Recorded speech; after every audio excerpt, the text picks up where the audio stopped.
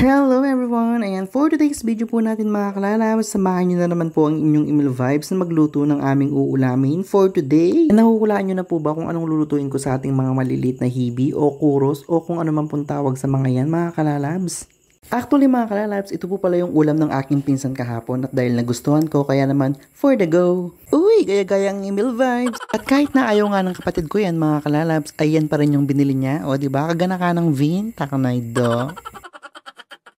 After ko nga silang linisin at ibabad sa asin mga kalalabs, ito na tayo at mag start na. Kaya naman, for the go! Nilagay ko na pala yung ating mga bawang at sibuyas dyan, syempre yung ating paminta at syempre itong ating mga crispy fry. Yes po, crispy fry po ang gagamitin ko dyan at hindi na harina para naman po may lasa na agad-agad mga kalalabs. At para makatipid na rin tayo sa asin, betchin at magic sarap, uy, tipid-tipiran yarn!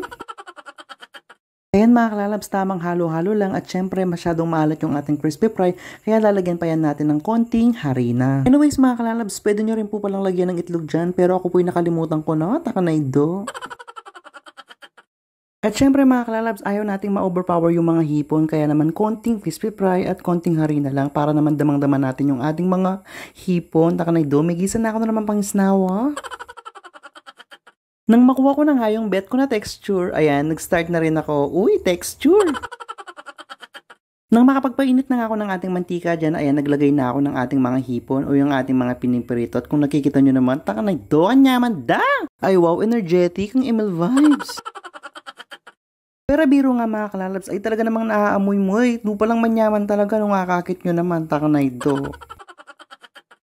At ayan na nga mga kalalabs, patapos na naman po ako sa aking mga piniprito. At ganyang itsura nga po pala yung gusto ko sa ating mga hipon mga kalalab sa aking mga piniprito. Yung nakikita mo po yung mga hipon sa labas, hindi po yung purong harina lang. Ay kung nakikita nyo naman po mga kalalabs, ang sarap na po nilang papakin pero hindi po pwede dahil uulamin pa yan hanggang mamayang gabi. Takanaydo. At ito na nga yung ating mga finished product mga kalalabs. O diba, pala talagang manyaman. Takanaydo. At syempre naman hindi po pwedeng mawala yung perfect niyang kamatch. Ito yung ating maparas-paras na sukat. At nandito na tayo sa pinaka-exciting at pinaka-masarap na part. Siyempre, yan tiki man. Takanay do. Kaya naman pasintabi po sa lahat at sa lahat po ng mga naglilihi dahil naglilihi rin po ako. Charis, walang ganon.